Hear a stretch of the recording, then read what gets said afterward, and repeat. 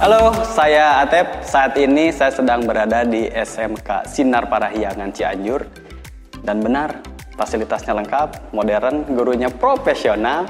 Jadi buat masyarakat Kabupaten Cianjur yang mau daftar SMK, di sini aja. Ditunggu, jangan kelamaan karena nanti akan berebutan dengan orang, oke?